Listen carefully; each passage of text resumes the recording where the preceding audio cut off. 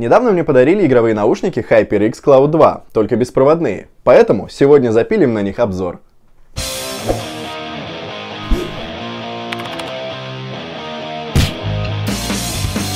Дело в том, что у меня дома система колонок 5.1, и я достал ей уже всех греметь, особенно когда играю в какие-нибудь стрелялки, иной раз захожу в танчики, не буду скрывать.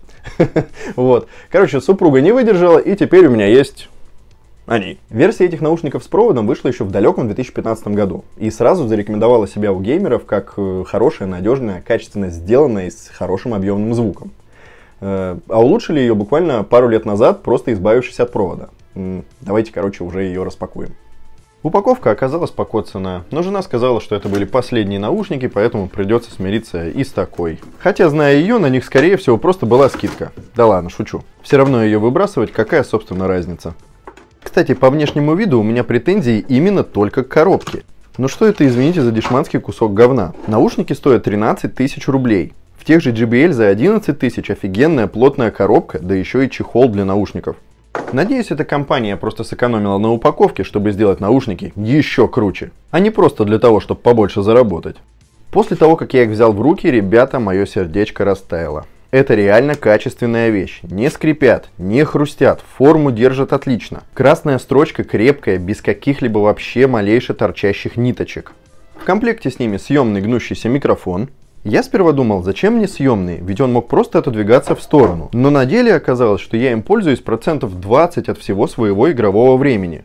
Только в онлайн-игрушках, а в них я залипаю нечасто. Поэтому все остальное время он у меня отсоединен, ведь зачем держать лишний вес на голове. Кстати, сама гарнитура весит всего 300 грамм. Ребят, только представьте, 30 часов автономной работы от одной зарядки. И такой легкий вес. А в совокупности с их эргономикой голова и шея вообще не устают.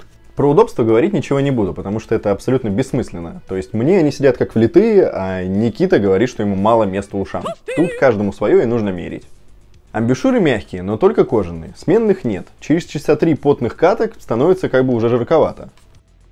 Рамки держателей сделаны из алюминия. Чтобы разложить или сложить наушники, нужно приложить достаточное усилие. По отзывам, этот механизм очень надежный. Даже через годы использования он не теряет своих свойств. На левом наушнике имеется разъем для микрофона мини-джек, разъем зарядки Type-C, а также кнопки отключения микрофона и включения самих наушников с индикатором. На правом наушнике расположилось только колесико громкости, и это отдельное наслаждение. Просто я очень люблю вот такие тактильно приятные вещи, как, например, крутилки на магнитолах в старых автомобилях. И тут это колесико, оно крутится плавно, равномерным усилием, с еле заметными щелчками, которые ты ощущаешь только пальцем. Подключаются наушники к компу или консолям через вот такой вот свисток. Ничего не нужно настраивать, просто воткнул, включил и все работает.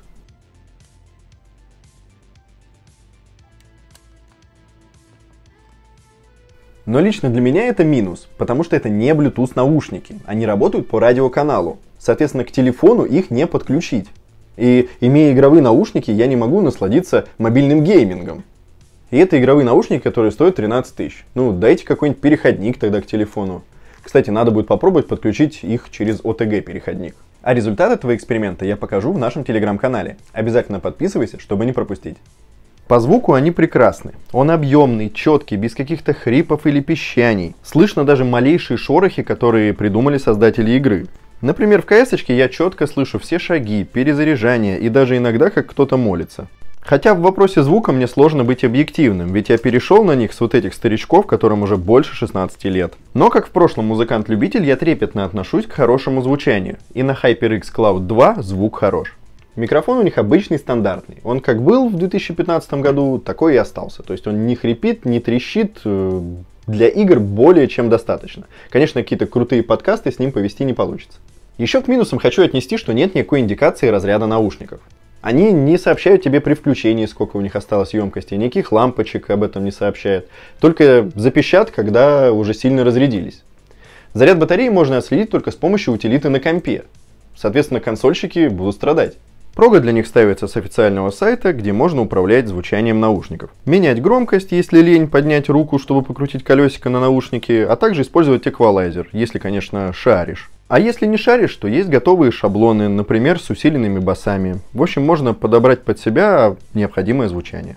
По умолчанию всегда включена функция DTS. Это имитация объемного звука колонок 7.1. Кто-то в интернетах на эту функцию жалуется, что звук ему какой-то не такой. Не знаю, у меня все круто работает, и звук кайфовый, объемный, я все слышу со всех сторон.